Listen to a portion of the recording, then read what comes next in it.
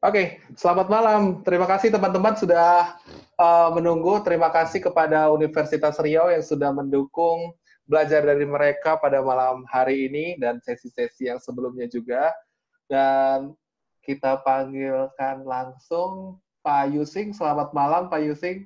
Malam, Daniel, dan Ya. teman-teman semua. Sekali lagi terima kasih Pak Yusing sebelumnya untuk waktu yang sudah diberikan, eh, untuk materi yang juga sudah dipersiapkan, teman-teman.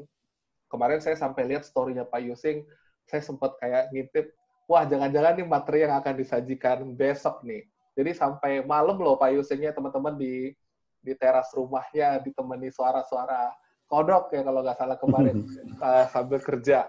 Jadi terima kasih Pak Yusing sudah mau sharing di di belajar dari mereka. Kami sangat bersyukur dan kami sangat antusias sekali nih mendengar uh, inspirasi yang sudah Bapak persiapkan. Pasti sudah banyak sekali dari teman-teman yang sudah mengetahui nama nama Pak Yusing, karya-karya Pak Yusing. Uh, pada malam hari ini Pak Yusing juga akan berbagi kembali teman-teman berbagi inspirasi khususnya di masa yang sangat sulit ini gitu. Nah, subtema pada malam hari ini yaitu berkarya dan berdampak bagi sesama. Di belajar dari mereka kita akan bagi dua sesi ya teman-teman. Teman-teman nanti bisa unmute, bisa langsung ngobrol. Di sesi terakhir, di sesi ketiga, di sesi kedua dan di sesi pertama, teman-teman bisa tuliskan komentar teman-teman di kolom komen. Nah, mungkin kita akan langsung aja mulai supaya nggak berlama-lama, khususnya teman-teman yang di Indonesia Tengah ini. Mungkin sebelumnya Pak Gun, Ibu Pedia, kepala jurusan dari Undri sudah sudah masuk belum ya Pak Gunawan? Ah, Pak Gun Faisal. Pak Gun Faisal. Eh, saya belum menemukan nama. Bu Pedia, Oke, tapi oke. mungkin bisa dilanjut aja Ini padanya di, nggak ya, apa-apa. diwakili oleh Pak Gun Faisal aja. Oke, kita langsung mulai. Pak Yusing, saya udah siapkan satu pertanyaan aja ini khusus sebelum kita memulai eh, melihat materi yang sudah Bapak persiapkan pada malam hari ini. Satu pertanyaan aja dan mungkin nggak perlu panjang juga. Menurut Bapak, pelajaran berharga apa yang bisa kita ambil dari COVID-19? Hmm, kita punya banyak waktu untuk belajar masak di rumah ya. Oke, Kebutuhan yang sangat dasar, pangan. oke. Dan dan sandang kita awet, nggak usah ganti baju tiap hari karena nggak keluar. Iya, iya, iya. Saya juga banyak masak nih pas setiap hari. Bener-bener setiap hari saya masak gitu. Oke. Nah, di samping di samping kita punya skill masak yang baru, kira-kira menurut Bapak pelajaran apa yang bisa kita dapatkan, Pak? Singkat aja. Em, yang menarik justru teman-teman yang banyak membuat forum-forum belajar seperti ini ya. Jadi kita bisa punya kesempatan untuk dari berbagai tempat tidak harus pergi naik naik pesawat atau naik yang lain begitu bisa ketemu dalam webinar seperti ini. Saya kira ini tidak pernah terbayangkan sebelumnya ya. Kalau tidak dipaksa oleh pandemi ini mana mana orang suka gitu untuk menghadiri hal, hal seperti ini. Tapi sekarang menjadi sangat banyak bahkan saya mendengar beberapa teman-teman eh, bertumpuk gitu jadwalnya webinar dari berbagai acara begitu ya. Acara. Jadi saya kira ini juga hal yang penting kita bisa bahwa belajar itu bisa eh, menjadi sangat eh, terbuka gitu. Baik, baik. Terima kasih. Oke, pasti teman-teman banyak yang sudah nggak sabar uh, mendengar materi yang sudah Pak Yusing siapkan. Ini saya akan stop sharing. Oke, Pak Yusing sudah bisa sharing. Oke, Ya, share. saya coba share. Ya. Ya.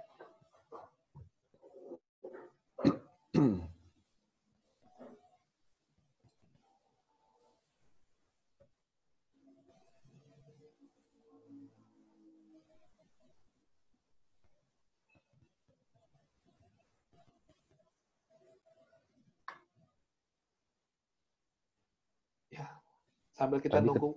Tadi ketutup ternyata. Oh, oke. Ya, sambil kita nunggu materinya tampil nih, teman-teman, saya mau nyapa teman-teman.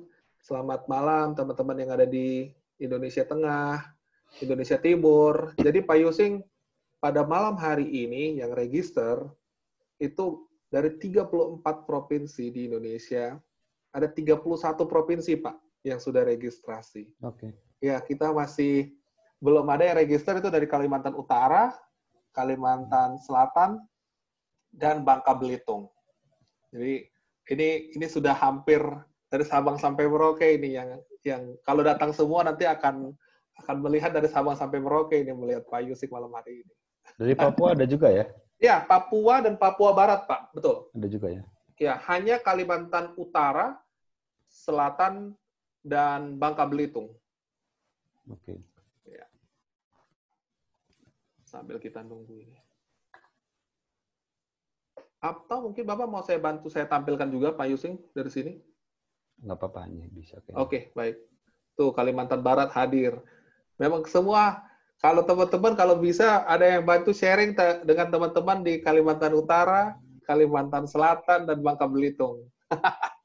Tuh, Manado hadir. Hampir satu Indonesia ini mendengar Pak Yusing malam hari ini. Kalau datang semua ini 480.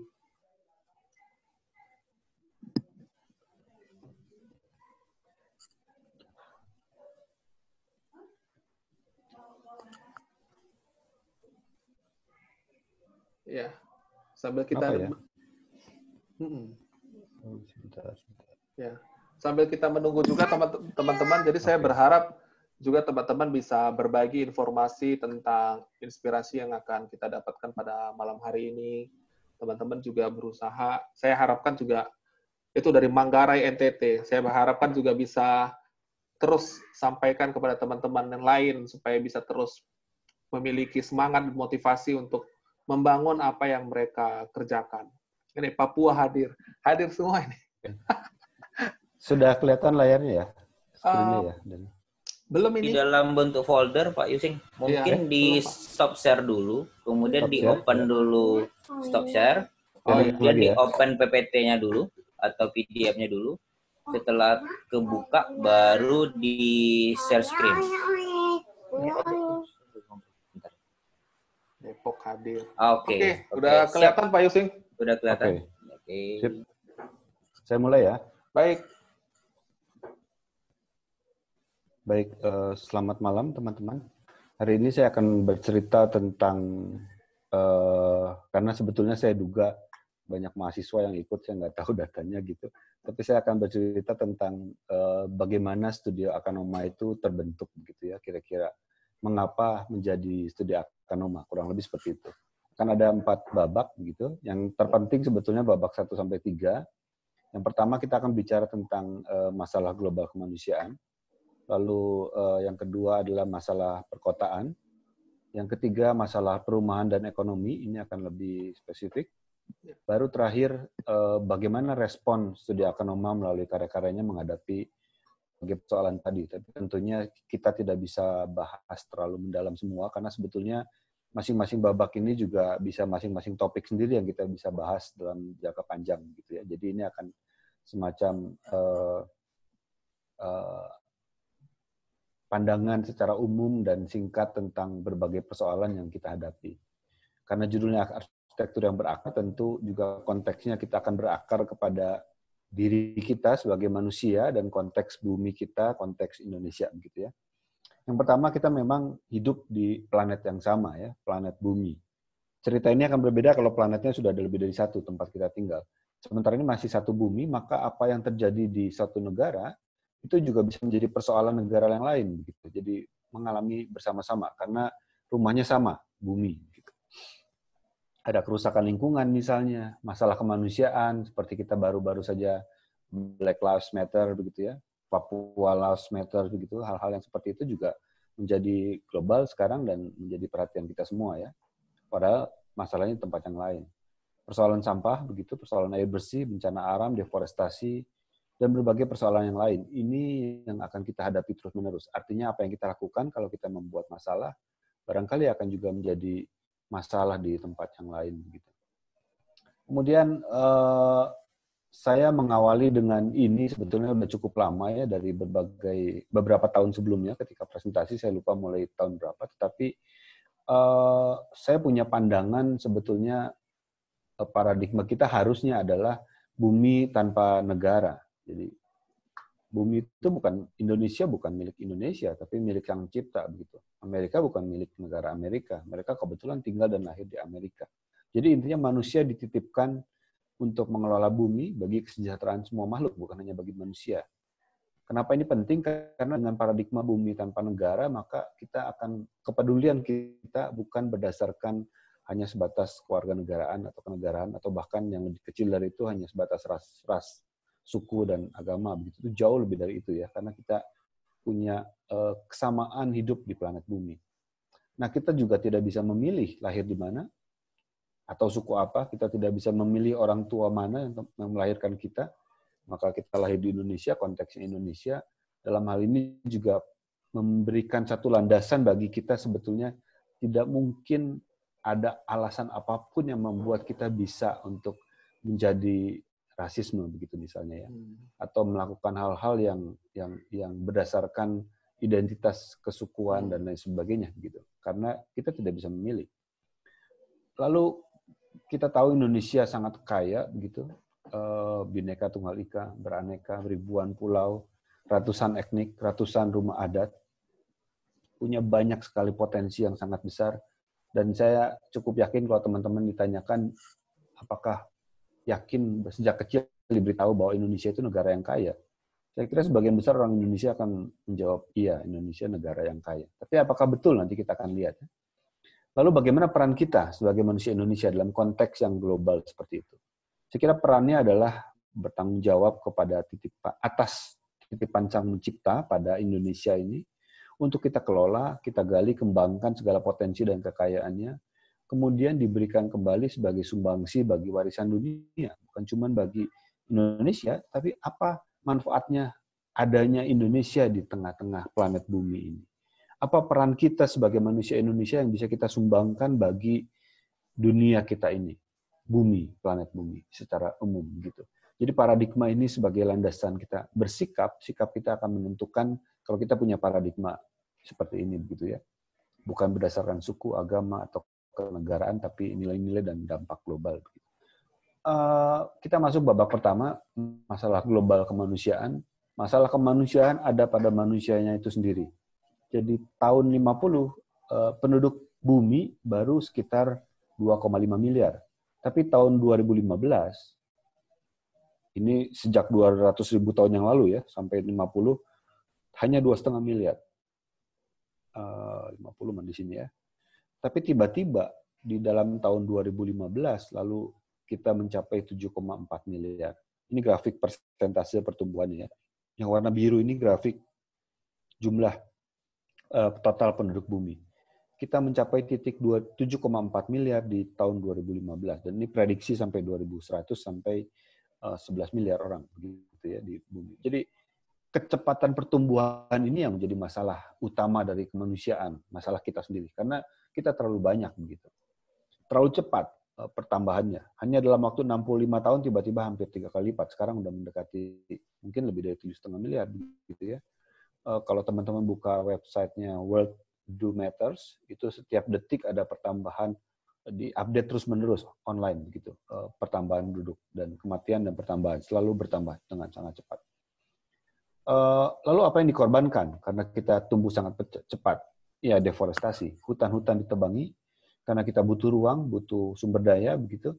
Di seluruh dunia 16 juta hektar per tahun tahun 2017 dan Indonesia 1,1 juta hektar per tahun uh, deforestasi masih terus sampai sekarang 2017 kita juara tiga deforestasi dunia 1,3 juta hektar per uh, tahun itu 2017 jadi data tahun 50 area berhutan di Indonesia masih 85 persen. Tahun 2013 hanya tinggal 45 persen. Sampai di semua pulau kita mengalami ini, termasuk Papua eh, juga sangat besar ya deforestasinya. Ini masalah kita. Ini data tahun 2017, Indonesia juara tiga setelah Brasil, Kongo, Indonesia baru di bawah-bawahnya ya.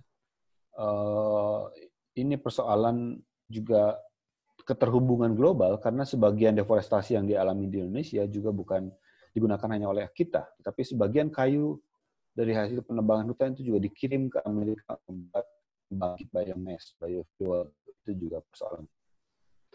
Uh, tentu deforestasi mengakibatkan banyak masalah lainnya, terutama longsor begitu. Ini contoh bagaimana pengundulan hutan di Cyclops, Papua, yang sudah gundul, menyebabkan banjir bandang di Sentani ya dan longsor ya.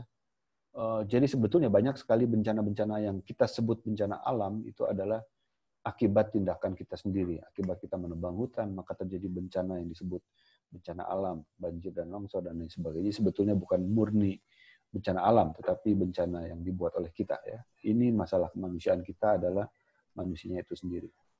Nah, lalu kita pengen tahu apa sih penyebab deforestasi yang terbesar? Penebangan hutan itu untuk apa? Ternyata eh, yang terbesar adalah untuk eh, agrikultur, pertanian. Ini ada skala besar 15 sampai 20 persen pertanian. Eh, ini peternakan 20 eh, sampai 25 persen. Lalu di pertanian skala kecil 30 sampai 40 persen. Yang kayu logging itu hanya 15 persen gitu ya. Yang lain-lain 5 persen. Jadi hampir seluruhnya 80 persen itu untuk pertanian dan peternakan untuk makanan kita.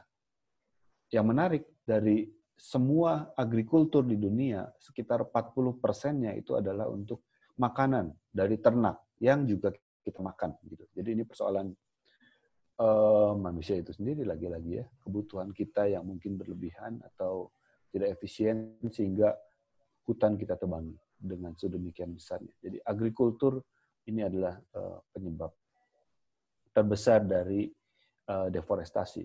Lalu lucunya ini kontradiksinya atau paradoks barangkali, tapi kontradiktif menurut saya.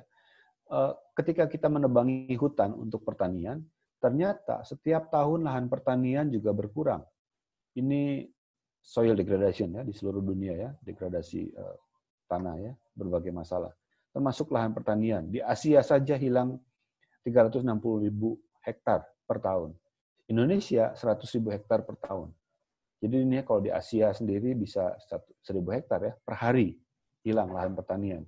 Berubah fungsi. Kita lihat sendiri bagaimana perumahan didirikan di atas sawah, Eh, dan lain sebagainya gitu. Jadi uh, ini menunjukkan bagaimana peradaban manusia sebetulnya bingung. Kita kita bingung ketika jumlah kita terlalu banyak dalam jangka waktu yang sangat cepat, tetapi kita lalu menebang hutan untuk pertanian, tapi pertanian sendiri kita ubah lagi untuk fungsi yang lain. Jadi ada masalah terbesar di sana.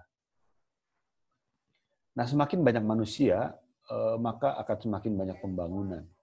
Ini contoh peristiwa alam ya. Ketika daerah yang kosong siklus air menjadi baik sebetulnya karena uh, hujan diserap tanaman menguap kembali menjadi hujan sebagian masuk ke uh, tanah dialirkan ke sungai dan lain sebagainya. Ini yang alami ya natural catchment. Tetapi ketika sudah menjadi kota kemudian menjadi masalah uh, ini dataran banjir sempadan sungai misalnya ini sungai misalnya ini sempadan sungai sebetulnya alaminya seperti ini yang biasanya kita sekarang sudah beton di sini gitu hilang lagi uh, sempadannya. Betonnya malah sekarang di sini ya betul-betul di tepian sungai. Uh, karena pembangunan maka dataran banjir yang semula cuman sebegini itu menjadi jauh lebih luas. Dan ini akan bertambah terus seiring pertumbuhan kita membangun kota-kotanya membangun. Resapan semakin berkurang dan airnya kita buang begitu kemudian dataran banjir akan semakin luas.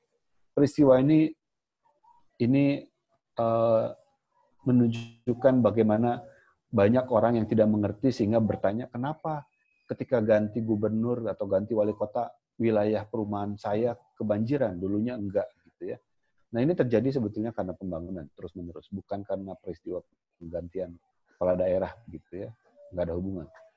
Uh, jadi artinya kita akan menghadapi terus menerus persoalan banjir dataran banjir besok akan lebih luas dari dataran banjir hari ini kalau kita membangun dengan cara yang biasa, tidak mengkonservasi air, tidak menyerapkan air, tidak menyimpan air, dan lain sebagainya. Ya, kesimpulannya adalah peradaban manusia gagal, bingung, gagap, menghadapi pertumbuhan penduduk yang sangat cepat tadi.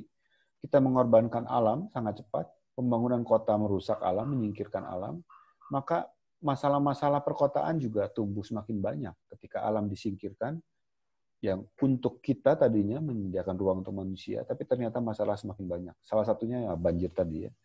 ini data penambahan uh, titik baru banjir di seluruh dunia dari tahun 85 sampai 2010 ada 3.713 titik banjir yang baru. Kalau tahun datanya sampai sekarang Papua sudah masuk nih. Dulu mungkin belum ya. 2010. Sekarang sudah masuk juga titik banjir di sini. Jadi ini akan terus bertambah bukan hanya di Indonesia banjir tetapi di semua hampir di seluruh dunia menghadapi uh, masalah banjir. Karena kota-kota dibang, kita dibangun tanpa mempertimbangkan jangka panjang pertumbuhan manusia, pembangunan dan lain sebagainya. Persoalannya sederhana sekali karena kita membuka drainase yang beton dan ada kapasitas tertentu, sedangkan drainase itu usianya belasan tahun, puluhan tahun, tapi pertumbuhan dan pembangunan terus menerus, gitu. Sehingga kapasitas drainase akan kurang, sungainya juga sudah tidak punya sempadan karena di beton dari mulai Eropa sampai kita juga sama, begitu. Jadi kita terus menghadapi masalah ini karena kesalahan kita dalam beradaptasi dengan kondisi alam kita, menyingkirkan alam dalam membangun kotanya. Ya, ini masalahnya. Eh, akibat tidak sensitif air, musim hujan kebanjiran, musim kemarau kekeringan. Bukan hanya di enam kota terbesar di Indonesia masih terus-menerus banjir, tapi sampai ke kota-kota kecil bahkan di daerah yang eh, masih relatif kosong juga bisa terjadi kebanjiran karena longsor dan erosi dan lain sebagainya. Ini bagaimana persoalan air itu betul-betul uh, menjadi masalah yang mendasar ya karena kebutuhan dasar begitu. Semua banyak kota terancam uh, krisis air atau sudah krisis air sebetulnya ya. Uh, dan peristiwa ini baru-baru juga sering kita lihat ya bagaimana masyarakat membeli dari galonan seperti ini yang tentu harganya lebih mahal dibanding lewat air PDAM yang bisa mengalir sampai ke hotel-hotel atau ke apartemen-apartemen misalnya begitu ya. Jadi ini persoalan yang kita hadapi bersama. Uh, catatan menarik 2017 BNPB mencatat ada 2.175 kejadian bencana di Indonesia. Dan darurat ekologis ini terutama akibat ulah manusia. Jadi ini membuktikan bagaimana sebetulnya manusialah sumber masalah manusiaan. Babak kedua, kita masuk sekarang ke kota ya, masalah kota. Masalah kota adalah uh, pertumbuhan penduduk yang tinggal di kota, urbanisasi dan pertumbuhan penduduk. Ini data bagaimana uh, pertumbuhan mereka yang dari tinggal di desa ke kota juga menjadi cepat ya. 2016 ada sudah di seluruh dunia 54 persen, 2050 mungkin 65 persen di seluruh dunia tinggal di kota, sedangkan Indonesia sudah 50 persen lebih ya sekarang, hampir 60 barangkali tinggal di kota. Jadi ketika kota yang sama diisi oleh lebih banyak orang, maka persoalannya akan tumbuh. Pulau Jawa di Indonesia termasuk yang kepadatan penduduknya tertinggi dibanding berbagai wilayah yang lain. Yang warna-warna agak coklat tua ini wilayah-wilayah yang uh, padat ya. Kita artinya kita perlu berpertimbangkan untuk betul-betul berhemat uang karena ini Jawa salah satu yang terpadat, Sumatera sudah mendekati, Sulawesi juga sudah mulai begitu uh, laju urbanisasi di Indonesia pun termasuk yang tertinggi di Asia. Indonesia itu yang warna merah ini ya, ini yang warna merah. Ini Asia yang warna biru, Southeastern Asia yang warna hijau ini. Jadi ini warning buat kita karena laju pertumbuhan urbanisasi kita pun ternyata lebih tinggi dibanding yang lain. Kemudian uh, ini uh, sebaliknya yang tinggal di desa semakin merosot dan menurunnya. Lalu ditambah lagi ego arsitek atau kerakusan pengembang juga menyingkirkan ruang alam atau regulasi pemerintah yang tidak kuat sehingga terjadilah seperti ini ya bagaimana kota-kota semakin tidak harmonis dengan unsur-unsur alam ruang-ruang alamnya semakin minim maka kita otomatis sudah harus tahu bahwa masalah kita akan semakin banyak kecenderungan pembangunan di Indonesia lebih banyak beton dan sedikit ruang hijau.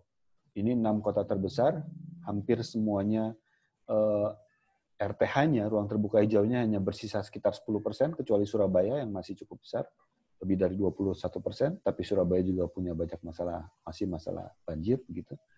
Eh, dan kecenderungan ini masih terus terjadi. Eh, membangun vertikal, tetapi tidak otomatis membuat ruang hijau lebih banyak ternyata. Vertikal tapi tetap saja sisanya perkerasan, ruang hijaunya sangat sedikit. Itu yang terjadi. Beberapa kota di tengah kota bahkan sama sekali tidak ada ruang hijau ya, dan tidak ada penegakan hukum. Gitu. Ini contoh pembangunan di Jawa Barat tahun 2004 masih ya relatif setengah-setengah hijau dan merah gitu. Merahnya juga masih merah muda. 2013 sudah merah semua, hijaunya tinggal sangat sedikit ini di Jawa Barat ya. Contoh masalah krisis air di Bandung, Bandung itu di sini. Bandung dulu adalah danau purba, jadi seluruhnya adalah air karena dikelilingi oleh pegunungan. Kemudian ada gunung yang meletus, membuka, lalu kemudian airnya mengering, gitu. Lalu jadilah kota Bandung. Dulunya penuh dengan air, sekarang Bandung krisis air tanah. Setiap tahun muka air tanah di Bandung turun 1 sampai 4 meter per tahun. Dan tanahnya turun karena itu tanahnya turun 4 sampai 5 cm per tahun. Beberapa titik bisa lebih dari ini ya. Semarang ada yang 20, Jakarta 20 cm, Pekalongan ada yang 20, ada yang bilang 25 cm. Setiap tahun tanah kita eh, kota-kota kita turun karena persoalan pengambilan air tanah dan eh, resapan yang sangat berkurang. Masuk lebih dalam ke persoalan perumahan. Ini persoalan banyak orang karena banyak dari kita kita yang belum punya rumah sebetulnya di Indonesia dan cukup sulit punya rumah begitu. Ada peningkatan harga rumah selama 10 tahun di 14 kota yang didata sekian persen ya. Jadi uh, Medan naik 60 persen dalam waktu 10 tahun harga rumahnya ya. Manado tinggi 109 persen. Makassar yang paling tinggi 124 persen. Surabaya hampir 100 persen. Bandung 70 persen. Jogja relatif kecil tapi ini juga implikasinya UMR-nya juga sangat kecil begitu ya. Uh, Jabodetabek sekitar 66 persen dan lain sebagainya. Jadi ini juga persoalannya akan dihadapi banyak orang karena semakin padat kotanya, semakin tanahnya semakin sedikit, uh, semakin sulit punya rumah, tetapi sekaligus harga rumah juga semakin naik. Selain tentunya harga tanah juga semakin mahal begitu. Dan uh, ironinya, rumah yang kecil justru kenaikannya paling tinggi. Ini rumah kecil di bawah 36 meter persegi. Secara umum ya, tidak semua kota ya, tapi secara umum misalnya ini di Makassar, yang rumah kecil naiknya 175 persen, rumah menengah 135, rumah besar 73 persen. Jadi orang yang berada di kategori ekonomi menengah ke bawah akan lebih sulit karena kenaikan secara umumnya lebih tinggi. Nah, karena itu Akanoma memulai dengan uh, mendesain rumah murah ya. Waktu itu di tahun 2008 kita melayani jasa desain uh, rumah murah begitu. Lalu banyak masyarakat dari Aceh sampai Papua, 80 keluarga di satu tahun pertama menghubungi kami. Tidak semuanya siap untuk membangun, tapi kita mulai uh, mencoba berusaha merespon ini dengan uh, melayani uh, desain rumah murah. Nah, ini persoalannya. Uh, ketimpangan ekonomi di Indonesia juga ternyata sangat besar begitu. Sehingga akan semakin sulit masyarakat di bawah bisa punya rumah misalnya. 10% orang terkaya di Indonesia itu menguasai 77% kekayaan nasional, sementara yang 1% paling atas itu menguasai 49%. Yang 100 juta termiskin di Indonesia, sekitar 10%, cuman kebagian 1,4% kekayaan nasional. Pendapatan bunga satu hari orang terkaya itu sama dengan seribu kali belanja kebutuhan pokok satu tahun orang miskin. Begitu. Jadi ini ketimpangan yang gila sekali. Indonesia juara enam dunia negara dengan ketimpangan ekonomi tertinggi dunia. Kemudian juga kita punya data kepemilikan lahan. Setelah kekayaannya juga tidak setimpang, kepemilikan lahannya lebih timpang lagi. 0,2 persen orang terkaya menguasai 74 persen lahan di Indonesia. Sementara 99,8 persen penduduk Indonesia hanya berebut 26 persen sisa lahan yang ada di Indonesia. Kenapa ini semua terjadi? Karena kapitalisme kroni. Indonesia juara tujuh dunia kapitalisme kroni dicatat di tahun 2016 oleh majalah The Economist gitu ya. Sistem kapitalisme suatu negara yang dibangun berdasarkan kedekatan antara pengusaha dengan penguasa. Ini persoalan yang kita hadapi terus-menerus sehingga ketimpangan ini akan selalu menjadi masalah yang tidak pernah selesai kalau sistem ekonomi tidak berubah begitu. Ini contoh bagaimana kapitalisme kroni berjalan dengan sangat gamblang. Contoh saja saya deretkan berita di media online secara uh, kronologis ya 2015 ada berita investor terus serbu Gunung Kidul. Warga Gunung Kidul minta tanahnya dilindungi dari incaran investor. Minta kepada siapa? Tentu kepada pemerintah ya. Jawabannya apa? Pemkap Gunung Kidul undang investor bangun hotel. Jadi jawabannya bukan melayani masyarakat, tapi justru mengundang investor membangun hotel. Di Gunung Kidul, investasi membabi buta. Gunung pun dibeli investor. Warga sebut kawasan wisata di Gunung Kidul dikuasai, ini sudah 2018, dikuasai investor. Jawaban pemerintah apa? Gunung Kidul perbaiki infrastruktur untuk kait investasi. Ini jelas-jelas kapitalisme kroni. Ini yang terjadi. Tanpa sistem usaha bersama, maka ketimpangan ekonomi akan terus terjadi, maka akan terus terjadi uh, lahan yang semakin sulit didapatkan oleh masyarakat dan ketimpangan penghasilan juga yang semakin sulit. Gitu. Contoh bagaimana kapitalisme kroni memunculkan kerajaan bisnis di semua aspek hidup di, di Hong Kong. Ya. Hong Kong itu negara yang jauh lebih kaya dari Indonesia, walaupun kecil karena jumlah penduduknya sedikit gitu dibanding Indonesia secara total. Tetapi uh, ini masalah contoh bagaimana kapitalisme kroni dalam konteks yang sangat uh, apa namanya mengakar di masyarakat terjadi ya. Jadi misalnya ini hari-hari biasa di Hong Kong nih. Setelah kita membeli belanjaan di tokonya milik milik, milik Li Kasing, salah satu konglomerasi, kita akan naik uh, bis ya untuk bekerja pulang ke rumah naik bis. Bisnya milik Cheng Yutung. Kemudian kita akan pulang ke apartemen yang dimiliki oleh Kwok Brothers.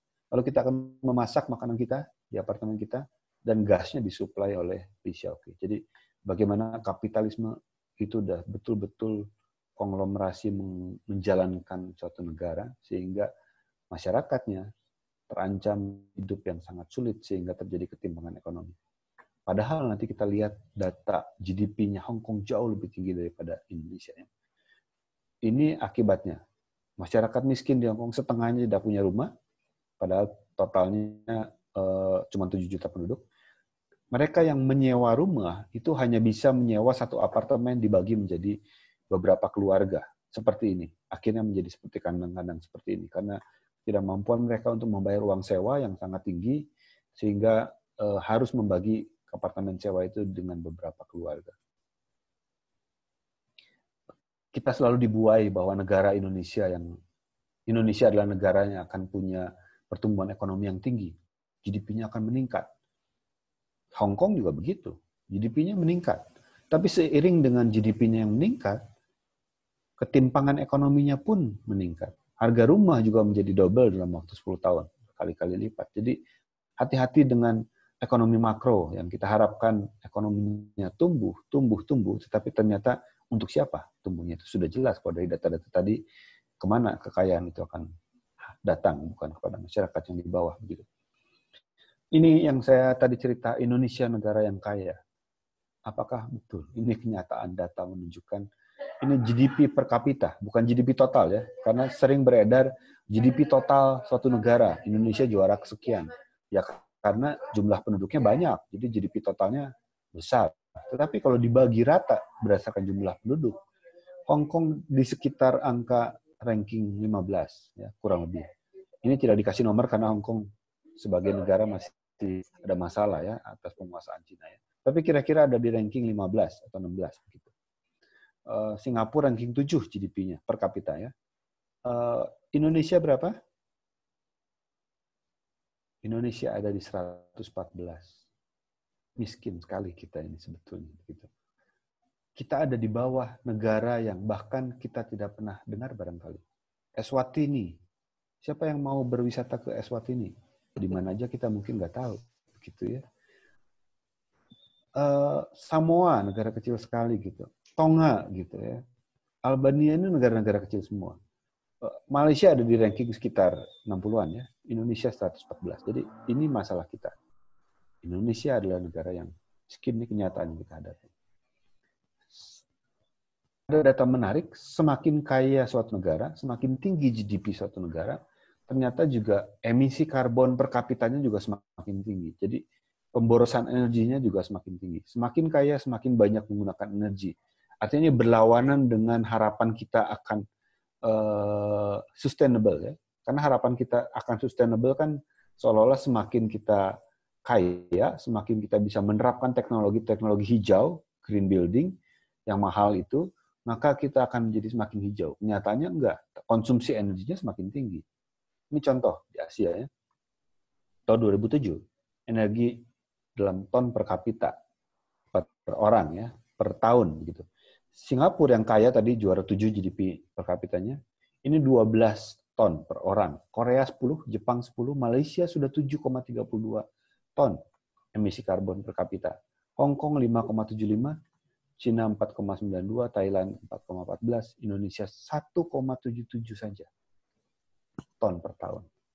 Jadi ini menunjukkan betapa kita miskin. Tapi sekaligus karena kita miskin justru kontribusi kita terhadap kerusakan bumi lebih kecil sebetulnya karena kita menggunakan energi karbon yang lebih kecil per kapita ya. Tapi kalau di jumlah total bisa bisa eh, besar juga karena penduduknya yang terlalu banyak.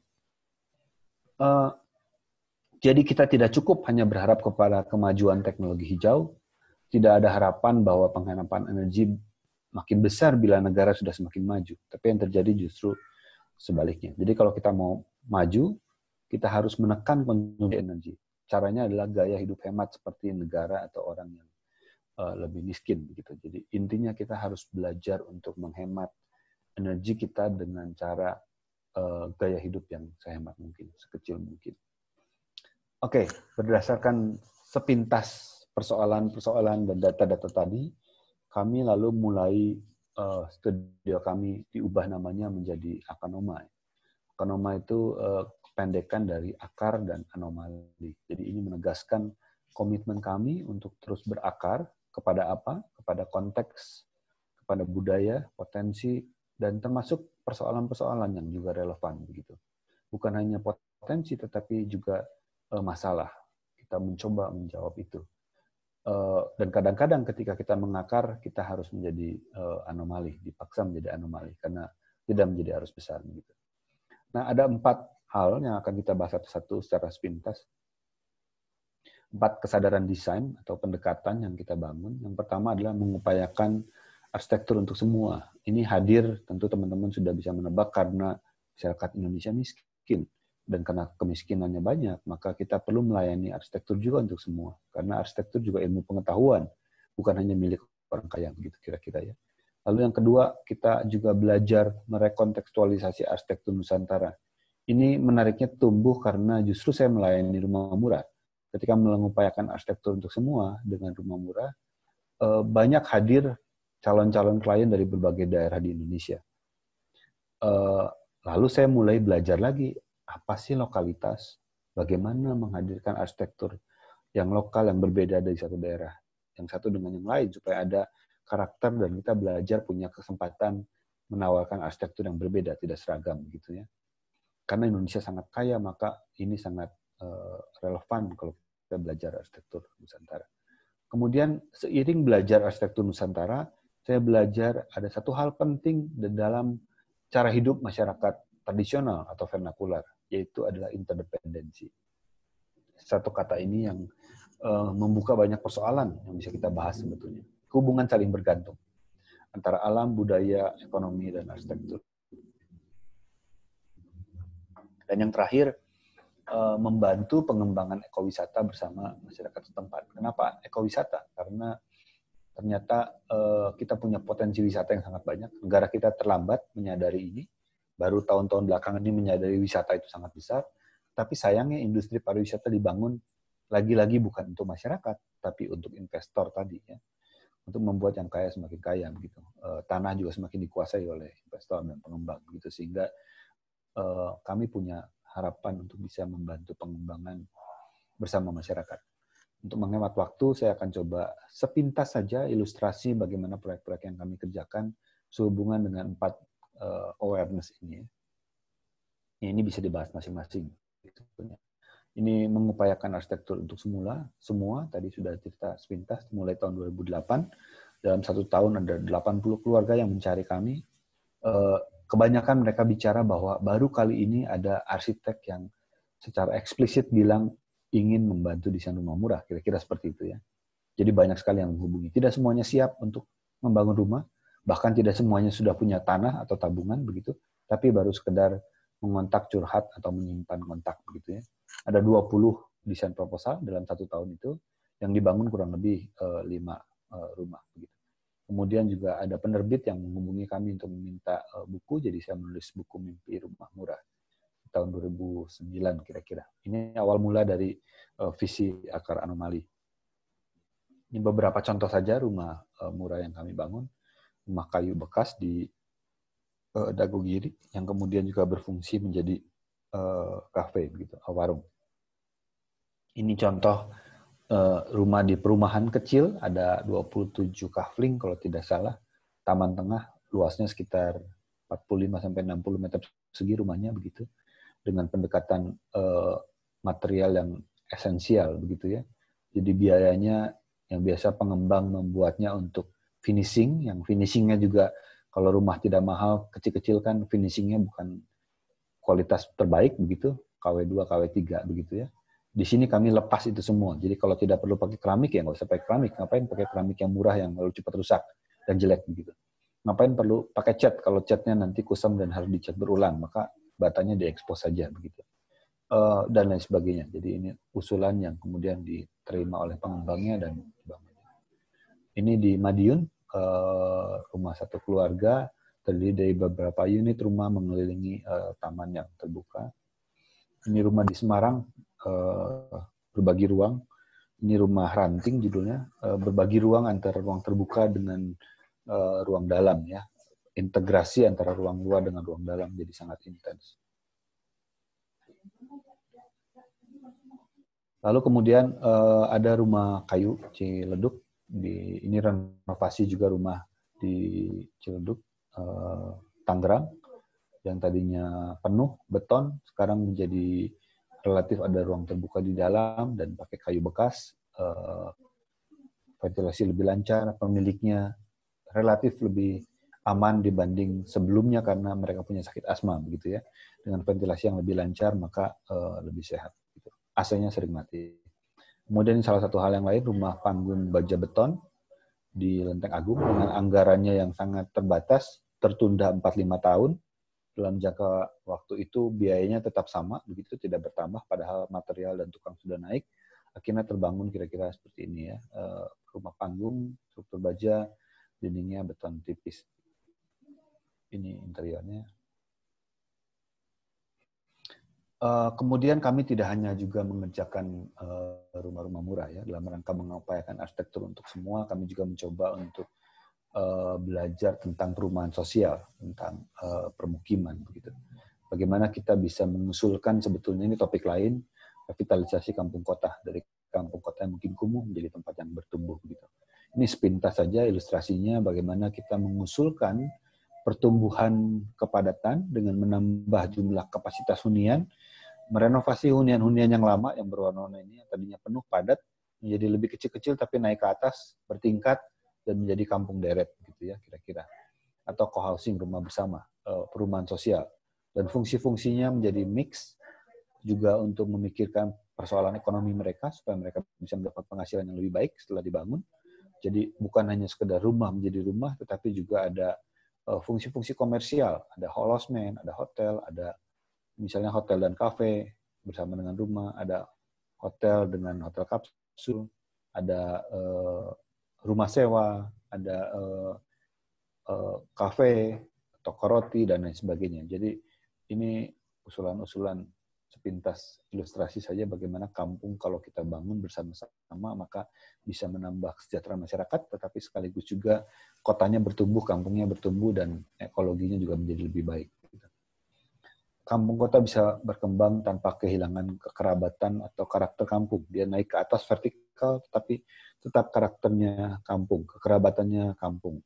Segala kebaikan dan inspirasi yang ada di kampung juga tetap hadir. Saya kira ini penting. Eh, berbagai persoalan bisa sekaligus diselesaikan melalui revitalisasi atau peremajaan kampung kota. Kita punya masalah sampah, bisa dikelola di satu kawasan yang sama. Kita punya masalah air, bisa dikelola langsung menampung air hujan mengelola air limbah dan lain sebagainya begitu. Kita punya masalah ruang hijau yang kurang, punya masalah banjir, semua bisa diselesaikan kalau ada perhatian kepada kampung kota bersama-sama mempedulikan masyarakat. bukan sekedar uh, pengembang atau investor ya. Membangun kampung kota secara vertikal juga meningkatkan ruang hijau dan hutan kota. Jadi kita bisa membuat vertikal dengan membuat uh, hutan kota sekaligus. Karena persoalan RTH juga menjadi masalah ya. Ini ilustrasi bagaimana kawasan panjang tepian sungai kalau kita diremajakan jadi vertikal dengan blok-blok uh, kampung-kampung susun yang kecil, maka bisa berdampingan dengan hutan kota dan kita bisa menciptakan banyak hutan-hutan mini di dalam kota. Kemudian uh, revitalisasi kampung kota ini bisa merestorasi sungai, bisa uh, membuat hutan kota, ruang hidup berbagai ekosistem, meningkatkan hunian jumlahnya lebih banyak atau ruang usaha juga sekaligus, ruang banyak lebih banyak ruang hidup, konservasi air tanah, mengelola sampah menjadi lebih baik, mengelola air hujan untuk air bersih karena air menjadi masalah, mengelola IPAL untuk digunakan kembali, biogas dari kotoran manusia dan sampah organik, dan seterusnya. Jadi kalau kita mengerjakan kamu kota ini bisa menyelesaikan persoalan-persoalan hunian, sosial, budaya, ekonomi, ekologi, kira-kira begitu ya. Masuk ke kesadaran yang kedua, rekontekstualisasi arsitektur Nusantara. Ini lagi-lagi uh, topik presentasi yang lain, kalau bisa dibikin uh, sendiri lebih panjang, ini bisa lebih mendalam. Tapi intinya adalah bagaimana kita menggunakan inspirasi arsitektur tradisional dan vernakular yang kita punya begitu banyak atau Nusantara eh, itu sebagai sumber uh, ide untuk kita menggali, merespon uh, sebagai pendekatan proses desain untuk fungsi-fungsi masa kini. Bisa penggalian bentuk, penggalian nilai, penggalian makna, bahkan kita bisa mengejar kemanfaatannya. Arsitektur tradisional itu terhadap lingkungan apa, itu kita bisa aplikasikan dalam konteks fungsi-fungsi yang masa kini. Gitu ya. Uh, ini salah satu pertanyaan yang kita ajukan yang bisa kita bahas mendalam sebetulnya dalam topik yang lain, eh, dalam pertemuan yang lain atau pernah saya bawakan sebetulnya apa sih manfaatnya arsitektur Nusantara bagi arsitektur masa yang sekarang gitu. Bagaimana kita menggalinya ya ini juga uh, bagaimana mendesain dengan pendekatan lokalitas ini juga bisa kita pelajari. Contohnya adalah uh, Menara Pinisi, bangunan eh, kampus Universitas Negeri Makassar di, di Makassar, 17 sampai 19 lantai, tapi menggali kelokalan, jadi dari filosofi masyarakat Sulawesi Selatan, Sulapa apa, ada empat elemen, eh, tanah, air, angin, api, yang membentuk kehidupan yang mereka percaya. Kita juga belajar tentang eh, rumah tradisional Makassar yang panggung, begitu apa maknanya panggung kita buat. Kemudian ada eh, mahakarya perahu pinisi sebagai simbol kejayaan dan kebanggaan masyarakat lokal ya sebagai uh, ikon untuk membuat bangunannya. Jadi bangunannya podiumnya empat persegi karena ada empat elemen tadi, tapi dibagi empat lagi supaya ada pencahayaan dan udara mengalir sehingga uh, bangunan yang besar ini bisa mendapat ventilasi silang, pencahayaan alami gitu. Uh, unsur-unsur empat unsur tadi diterjemahkan seperti ini. Tanah kita ambil warna yang umum coklat untuk warna tanahnya.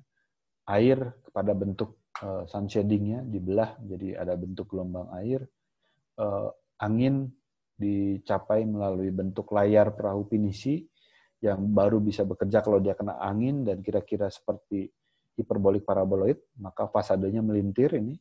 Lihat dari samping ya. Melintir begitu seperti layar yang kena angin. Kemudian api sebagai puncak dari bangunannya Eh, proporsi bangunannya menjadi lebih tinggi. Ini bangunan dari sudut pandang depan, dari belakang, ini juga dari belakang, ini dari depan masih ada uh, ini sekarang sudah lebih rimbun karena ini menjadi hutan kampus di bagian GSB ini menjadi hutan kampus sebagai barrier dari kebisingan dan juga uh, debu dan uh, hujan begitu. Uh, ini dari sampingnya. Ini dari atas kelihatan bangunannya dimiringkan supaya mendapatkan ruang hutan kampus yang lebih besar, tapi sekaligus merespon uh, jalan lahan sudut di sebelah sini. Lalu yang kedua tentang rekontekstualisasi arsitektur Nusantara tidak spesifik kepada satu lokasi, tetapi uh, ini tornya sayembara terbatas. Tornya adalah membuat bangunan pelatihan kepemimpinan dengan konsep Indonesia ya keindonesiaan karena pelatihan kepemimpinannya, kurikulumnya dibangun berdasarkan kepemimpinan keindonesiaan kira-kira mereka gali. Jadi bangunannya pun harus menunjukkan Indonesia. Nah, seperti apa bangunan yang merepresentasikan Indonesia dan harus lagi-lagi diminta ikonik ya. Jadi eh, nama bangunannya Giri Wijaya di Kasatrian di Gadok. Eh, kami menggali secara umum kondisi Indonesia yang adalah bagian dari jalur cincin api. Indonesia negara salah satu negara cincin api dan cincin api yang penting itu adalah gunung. Maka bangunannya harus menjadi bangunan yang seperti gunung. Gunungnya seperti apa? Seperti bukit kontur yang ada di sekitarnya. Jadi satu bukit ini bukit existing, ini kita bikin bukit yang baru. Kemudian kenapa ada tiga puncak? Karena dari site ini kita bisa melihat tiga gunung. Ada gunung Gede Pangrango, ada gunung um, Salak kalau tidak salah, satu lagi gunung apa saya lupa ya. Uh, tapi ada tiga gunung yang cukup terlihat jelas dari site sehingga kita terjemahkan dengan membuat tiga puncak gunung di atasnya. Indonesia juga negara agrikultur, tentu saja karena Ring of Fire membuat tanahnya menjadi subur. Karena itu kita menjadi negara agrikultur ya. Dan simbol agrikultur yang uh, paling enak dilihat barangkali adalah sawah terasering gitu. Jadi kita membuat bangunannya selain bentuknya seperti gunung, tetapi juga dia berundak-undak uh, seperti terasering gitu ya, kurang lebih seperti itu. Kita juga negara kepulauan, karena negara kepulauan kapal menjadi penting sebagai penghubung antar pulau. Maka bangunannya pun banyak unsur garis-garis dan juga uh, di satu sudut ini kita terlihat bangunannya seperti kapal yang sedang berlabuh di uh, laut yang lingkaran ini ya. Jadi ini satu bangunan yang sama. Jadi di sudut pandang sini terlihat seperti kapal. Kemudian kita punya budaya yang juga cukup tua. Uh, buktinya dengan adanya peninggalan candi-candi, punden berundak, gunung padang dan lain sebagainya. Sehingga bangunan ini pun sekaligus juga merepresentasikan irama candi yang mengecil ke atas, uh, seperti candi tapi beton, kira-kira begitu ya. Jadi uh, serial vision yang bisa kita lihat di sekeliling bangunan ini berubah-ubah, tapi kira-kira mengingatkan kita akan candi. Denahnya dibuat seperti wayang, semar, uh, karena ini adalah fungsinya pelatihan kepemimpinan. Jadi ini kepalanya, ini perutnya, ini pantatnya besar ya, kira-kira begitu. Ya. Jadi ini uh, wayang semar begitu. Kira-kira seperti itu denahnya. Ini ilustrasinya dari dalam bisa melihat 360 derajat tetapi tidak silau dan tidak terlalu panas karena adanya terasering sebagai sun shading tadi. Uh, sudut pandang dari luar seperti gunung, seperti uh, candi, seperti punden berundak. Yang ketiga, uh, saya singkat saja, membangun interdependensi. Artinya singkatnya adalah kalau kita bergantung kepada alam, maka kita juga akan punya keinginan untuk melestarikan alam kita jadi alam lestari, arsitektur lestari karena mengambil banyak uh, sumber daya alam. Gitu. Semakin kita bergantung kepada alam, semakin kita punya kepedulian untuk menjaga alam jadi lebih lestari. Semakin kita menggunakan material-material yang jauh dari alam, semakin kita tidak peduli dengan alam kita, semakin alamnya juga di, dirusak, uh, deforestasi, ditebangi, dan lain sebagainya. Ini dapur komunitas Mendira di Jombang di dusun ini punya banyak sekali bambu, eh, maka kita gunakan bambu sebagai strukturnya, termasuk struktur dinding dari bak penampungan air hujan. Bangunannya untuk menampung air hujan karena kita perlu banyak air untuk menyirami eh, kebun di sebelahnya ya. Ini dapur eh, komunitas yang dikelola oleh ibu-ibu di satu dusun yang menyewa lahan desa menjadi perkebunan organik bersama ketika kita menggali banyak eh, tanah untuk membuat bak penampungan air hujan, maka tanahnya kita gunakan kembali untuk juga menjadi material dinding. Yang semula desainnya bata, kita ubah menjadi desain tanah, jadi eh, dinding tanah. Jadi ini masih salah, harusnya lebih eh, rangka bambunya lebih carang supaya tanahnya masuk ke dalam, keluar dan dalam menyatu begitu ya. Tapi ini proses kita memperbaiki mencari formula tanah untuk uh, dindingnya. Akhirnya ketemu formula ini untuk uh, ini sudah lebih carang bambunya dan bisa dikerjakan secara gotong royong. Jadi dindingnya tanah, strukturnya bambu. Kenapa tema ini interdependensi karena setelah kita bangun, dalam proses ini tukang-tukangnya baru bilang bahwa seumur hidup mereka sebagai tukang hidup di desa ini tidak pernah sekalipun membuat konstruksi bangunan bambu. Padahal desa itu punya bambu ya. Itu salah satu bukti kita perlu lagi membangun hubungan saling bergantung dengan sumber daya alam kita agar kita mengelola alam kita dengan lebih baik. Gitu. Uh, harapannya membangun interdependensi kembali antara masyarakat dengan uh, di mana-mana ya dengan sumber daya alamnya. Yang keempat, uh, terakhir membangun membantu pengembangan ekowisata. Saat ini volume pariwisata dunia sudah berkembang sangat pesat, lebih minyak, otomotif atau makanan, kecuali pada saat pandemi ini. Tetapi pertumbuhan pariwisata tidak cukup adil. Masyarakat lokal umumnya hanya menjadi buruh pariwisata. Sering juga kehilangan tanahnya karena dibeli oleh mereka yang lebih mampu tetapi lalu uang hasil jual tanahnya juga akhirnya habis begitu. Uh, tetapi pertumbuhan ekonominya atas pertumbuhan pariwisata di satu daerah itu lebih dinikmati oleh investor-investor yang sebetulnya telah kaya. Uh, Bali salah satu contoh ya. Uh, studi Akanoma terus-menerus mencari kesempatan untuk dapat belajar bersama, bekerja belajar bersama masyarakat untuk mengembangkan wisata ekologis supaya masyarakat menjadi subjek, menjadi pelaku, menjadi pemilik bukan hanya menjadi buruh.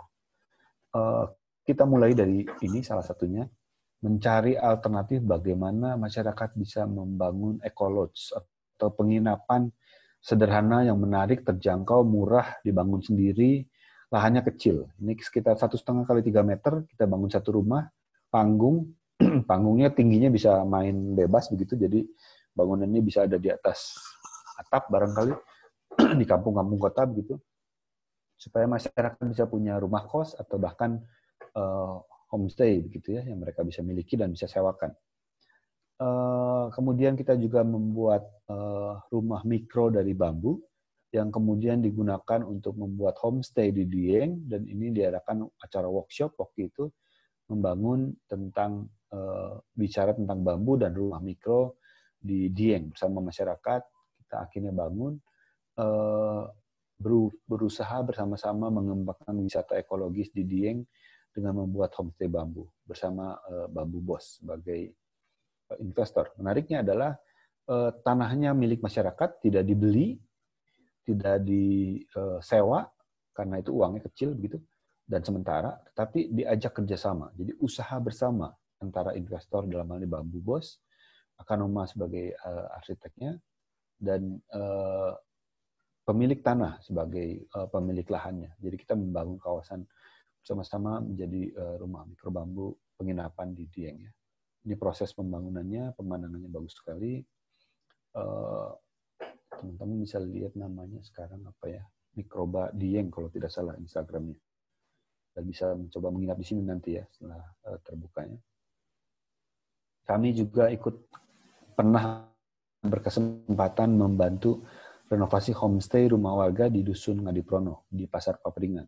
Yang belum tahu teman-teman bisa Google Pasar Papringan. Itu menarik uh, di diinisiasi oleh Mas Singgi, ada Siska dan teman-teman di sana masyarakat lokal membuat satu pasar dari kebun bambu kecil tidak terlalu besar di dalam desa yang jauh dari kota, uh, tidak ada transportasi umum, di Temanggung pun bukan tempat wisata, tetapi ketika setiap kali pasar Papringan dibuka setiap dua minggu sekali hari Minggu uh, yang datang bisa 3.000 orang dan uh, mereka menjual makanan-makanan lokal sangat menarik gitu.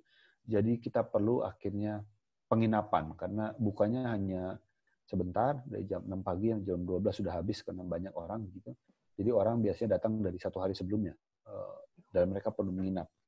Akhirnya kita berusaha untuk membantu saya diajak untuk membantu merenovasi rumah warga yang kira-kira seperti ini kondisinya untuk bisa memiliki kamar kamar mandi uh, yang cukup layak untuk orang-orang kota bisa menginap gitu ya. Kamar mandinya direnovasi seperti itu. Kamar kita buat menjadi uh, bang bed dari kayu, ada yang dua tingkat gitu. Ada juga yang rumahnya cukup besar, kita minta dibongkar di tengah supaya punya suasana rumahnya. Jadi yang tadinya kamar di tengah tidak dapat cahaya cukup, udara yang cukup, dibuat menjadi taman di dalam rumah supaya uh, ada pengalaman ruang yang lebih menarik gitu karena penghuninya juga sudah tidak banyak jadinya kira-kira seperti ini ya. Jadi sebagai itu Pak Ribut dan istrinya sebagai pemilik, kemudian uh, mencari cara bagaimana supaya uh, kamar homestay di desa bisa dijual mahal. Berapa sih orang kota mau bayar kamar homestay di desa yang tidak ada kamar mandi dalam, lantainya sederhana, dinding cuma cat putih biasa begitu. 500 ribu mungkin nggak mau ya, terlalu mahal begitu ya di kota bisa dapat hotel tengah kota yang cukup bagus 500 ribu. Tapi dengan strategi kamar kapsul seperti ini, uh, satu kamar kapsul ini bisa dapat dijual 1,2 juta per malam ya, karena satu kamar kapsul 200 ribu, di situ masih belum banyak kali 6. Ini kebetulan kamarnya cukup besar, ada 6 kamar, kamar seperti ini. Kalau 200 ribu, ketika yang datang banyak, biasanya ini penuh, 6 orang, maka 1,2 juta per malam bisa dapat.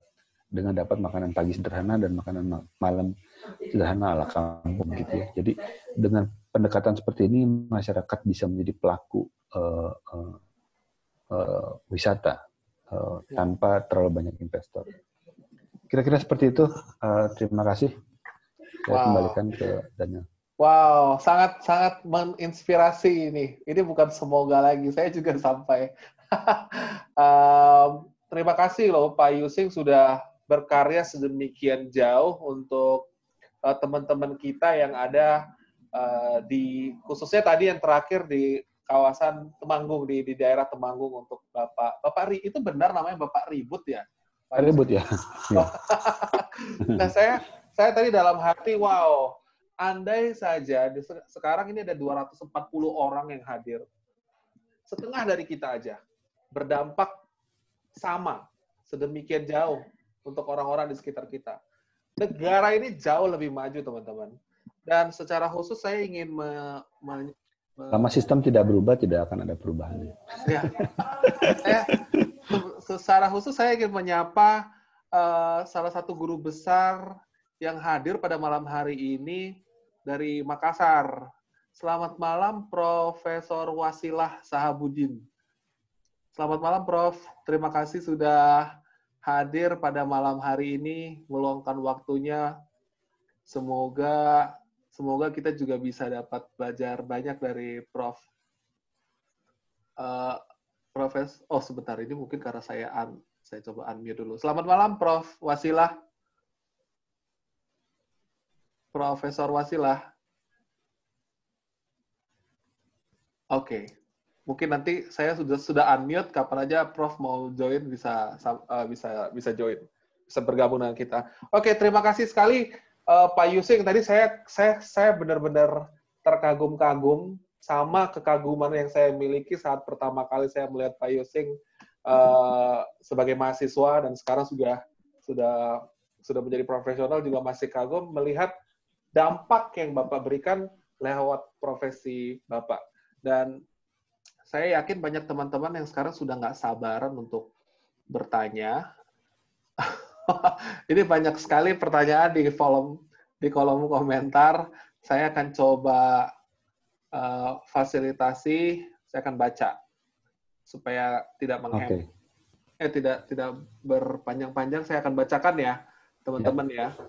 Um, dari Feby, boleh posting pertanyaan sekarang. Arsitektur adalah solusi mikro bagi masalah makro.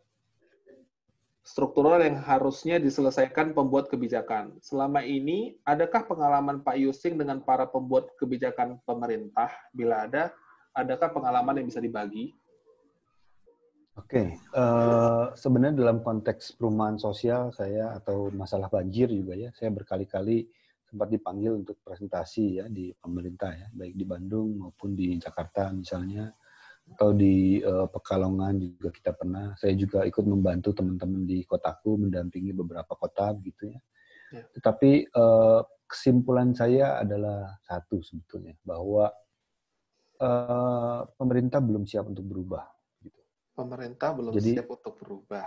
Setiap kali saya presentasi, hampir selalu responnya, wah ini idenya bagus sekali, tapi kita tidak tapi... punya peraturan yang bisa melakukan itu. Jadi kalau kita melaksanakan itu melanggar, kira-kira begitu. Jadi kalau mau membantu masyarakat itu tidak ada peraturan yang melanggar itu. Kalau membantu yang lain mungkin bisa. gitu ya. Tapi itu persoalan yang umum terjadi. Dan saya jadi bingung sebetulnya. Lalu, lah yang bikin peraturan kan juga pemerintah. Begitu. Sementara pemerintah menjawab belum ada peraturannya. Lalu kita mau nunggu sampai kapan?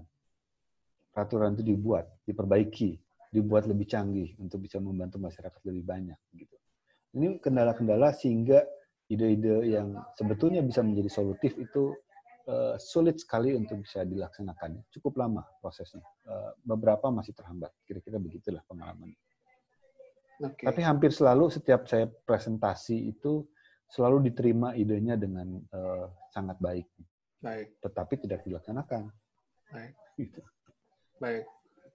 Nah, jadi ya syukurnya masih ada undangan untuk presentasi ya Pak Yusing. masih ya, ada. Beberapa kesempatan uh, ada lah. Oke, okay. oke. Okay. Saya yakin ada saat ini yang sedang mendengar masih 240 teman-teman pasti ada salah satu satu orang aja kita cukup butuh satu orang dari pemerintahan yang bisa memfasilitasi kondisi tersebut mengubah kondisi tersebut ya, ini persoalannya sistem ya jadi satu orang yang ingin mengubah juga kadang-kadang ah, bisa dimatikan dari dalam gitu Iya betul jadi kalau yeah, ada yeah. satu uh, ini kondisi yang uh, kegelisahan juga ya yang kita perlu hadapi ya. Misalnya teman-teman punya niat masuk ke dalam pemerintah jadi PNS begitu dengan yeah. niat mengubah, punya bekal pendidikan S3 dari Harvard misalnya begitu ya. Sementara di dalam masih dikuasai senior dan senioritas itu masih penting begitu, yeah. barangkali akan disingkirkan atau dipindahkan posisinya sehingga tidak bisa berperan dan lain-lain. Ini kenyataan yang saya kira kita harus tahu dan masih yeah, terjadi begitu yeah, sampai yeah. sekarang begitu. Yeah, yeah kenyataan pahit yang harus kita terima. Bagaimana itu Pak Gun Faisal? Apa yang bisa. Bapak kan ini dosen pengajar ini dan banyak sekali dosen-dosen pengajar di sini. Mungkin bisa terus influence mahasiswanya. Oke, kita lanjutkan ke pertanyaan berikutnya. Ini ada pertanyaan yang cukup panjang. Saya agak saya ini baca juga tapi bagaimana cara mempersingkatnya? Oke, kita akan coba dari Kak Abidzar Al-Ghifari. Sebelumnya terima kasih atas presentasinya Pak Yusing. Saya mau tanya, tadi Bapak sebutkan bahwa orientasi pembangunan kita dicoba diubah menjadi vertikal. Nah, apakah pembangunan kampung-kampung di Jakarta bisa dibangun jadi vertikal seperti Singapura? Dan bagaimana pendapat Bapak terhadap kekhawatiran yang menyebutkan bahwa hal ini dapat menghilangkan jati diri kampung yang cukup kaya akan nilai dan keguyubannya? Sedangkan kita tahu bahwa walaupun Singapura mengubah kampungnya menjadi rusun, tetapi hari ini dia menjadi negara maju. Oke. Okay. Ya, ya kira-kira begitu. Ya, oke. Okay. Ya. Oke, okay. uh, eh, ketika kondisinya sudah seperti Jakarta, RPH-nya sangat sedikit, urbanisasi dan pertumbuhan penduduk terus maju, kampung-kampung existing semakin padat sekali secara horizontal begitu, semakin sehat begitu, maka tidak ada tidak ada cara lain kita harus mau tidak mau menjadi vertikal. Ya. Tapi seberapa tinggi sebetulnya tidak harus puluhan belasan lantai. Karena eh, mayoritas Jakarta KLB rata-rata ya, KLB koefisien lantai bangunan kalau dirata-ratakan mungkin baru dua atau baru tiga begitu. Sementara Singapura sudah delapan kalau tidak salah KLB-nya. Jadi luas yang bisa dibangun vertikal itu sudah sangat banyak. Jadi kita masih punya banyak kesempatan untuk uh, memperbaiki kawasan secara vertikal cukup high uh, low rise high density. Low rise itu menengah lah, sekitar uh, lima lantai ke bawah kalau tidak mau pakai lift mungkin kalau masih mau ada pakai lift mungkin 10 15 lantai sudah cukup. Karena dengan ketinggian yang low rise yang tidak terlalu tinggi pun sebetulnya jarak antar bangunan bisa lebih dekat, jadi lebih efisien. Jadi dibanding bangunan yang sangat tinggi 20 lantai maka jarak antar bangunan berikutnya juga jadi lebih jauh dan biaya pembangunannya lebih mahal. Saya pernah uji coba dengan low rise high density ketinggian 10-15 lantai dan 5 lantai dalam satu kawasan itu sudah sama mencapai ketinggian bangunan tinggi yang puluhan lantai dengan KLB yang sama 4,5 sekitar itu. Jadi sebetulnya kita bisa membuat secara uh, vertikal dengan membatasi ketinggiannya tergantung konteksnya. Kalau perlu cukup lima lantai, cukup lima lantai. Gitu. Supaya murah dan terjangkau ya. Baik. Oke. Okay. Kemudian kita lanjutkan pertanyaan berikutnya. Ini ada dari Kak Hana, Hana Faza. Um, saya mau bertanya mengenai material nih Pak, katanya. Jika tidak salah, lihat rumah pada rumah murah yang memakai atap seng atau asbes. Apakah tidak panas Pak? Nah, komen Bapak kira-kira ini ada pertanyaan lainnya. Kira-kira kira-kira bagaimana Pak uh, menurut menurut Bapak tentang pertanyaan ini? Oke, uh, ini layarnya memang hitam ya? Iya. Oh, tadi okay, okay. biar biar nggak banyak tadi banyak. Oh. Ah, oke oke. Ya. Uh, ya jadi uh, memang kalau fiber semen ya saya lebih waktu itu lebih mulai dengan fiber semen kalau bisa bukan asbes karena asbes uh, tidak baik buat kesehatan ya. Jadi di pasaran masih disebut asbes tapi ada juga beberapa produk yang tidak mengandung asbes lagi ya. Ya. Uh, relatif panas, tapi kita bisa memberikan insulasi. Insulasinya bisa macam-macam. Insulasi di dalam, insulator, atau di atas atapnya. Jadi yang kalau di atas atap itu panasnya tidak kena ke fiber semen, karena kita rambati pohon misalnya. Atau atapnya menghadap ke utara dan selatan, sehingga relatif dapat matahari langsung barat-timur relatif sedikit. Atau di sana ada pohon besar misalnya. Jadi hal-hal seperti itu bisa kita kendalikan. Ya, Oke, mudah-mudahan menjawab ya Kak Kak Hana. Uh, kebetulan anak saya juga namanya Hana. Oke, sel sel dari Kak Zaidan. Selamat malam Pak Yusing, izin bertanya seputar dunia arsitektur. Bagaimana pendapat Bapak tentang arsitektur yang tergantung kepada industri? Dan bagaimana caranya terlepas dari industri tersebut? Wow. Oke, uh, kalau kita tidak membangun interdependensi dengan alam, ya akan terjadi pasti seperti ini. Dan di seluruh dunia memang kenyataannya uh, hidup kita sudah sangat dipengaruhi oleh industri sangat besar, gitu ya. Apa yang terjadi ketika kita semua bergantung pada industri, termasuk masyarakat miskin pun kan bergantungnya sama industri. Mereka beli seng misalnya dari pabrik seng tentunya ya, beli cat dari pabrik cat, tidak bikin cat sendiri begitu ya, dan lain sebagainya maka ekonominya akan berputar kepada mereka yang sudah lebih kuat tadi. Kita beli uh, uh, apa pun produk hasil industri itu untuk mendukung ekonomi industri. Kalau penghasilan untuk buruh itu sangat terbatas dan minimal sebetulnya. Keuntungannya tentu untuk pabriknya. Jadi itu yang memang terjadi. Jadi kalau kita mau lepas uh, mungkin tidak bisa lepas dalam kondisi konteks hidup yang modern sekarang, tetapi kita bisa mengurangi ketergantungannya.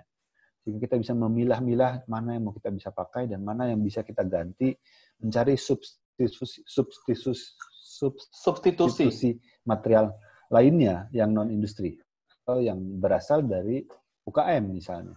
Misalnya kita bisa yeah. pakai atap daun, bisa pakai bata dari uh, industri rumahan, bisa pakai uh, kayu, bambu dan lain sebagainya begitu.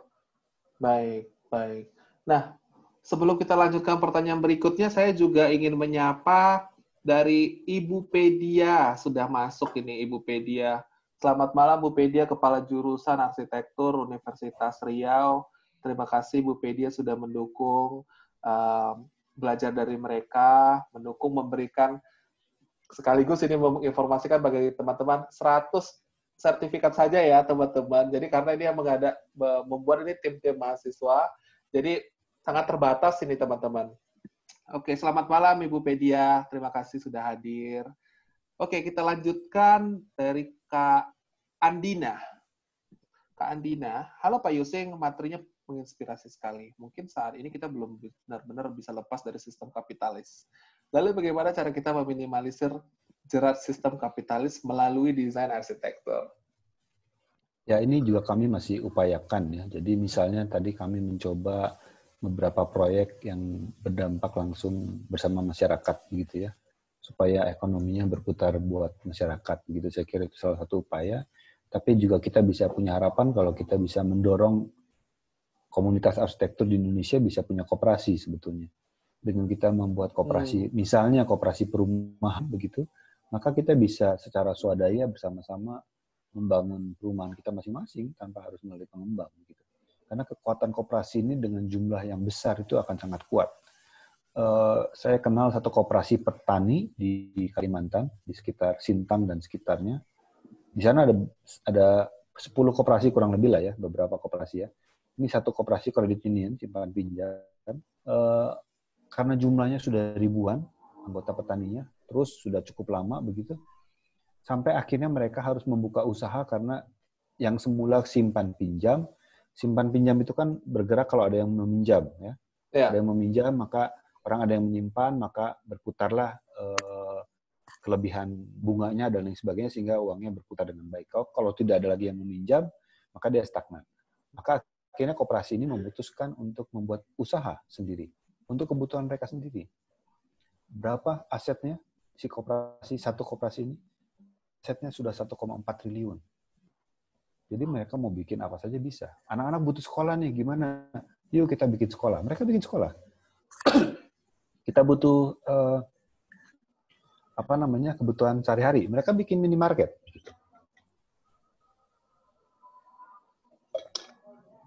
Jadi ini ekonomi yang berputar di masyarakat. Baik. Baik. Jadi harapan kita menuju ke sana. Baik. Oke, okay. oke. Okay. Nah, ini mungkin saya sebelum melanjutkan ini banyak pertanyaan teman-teman.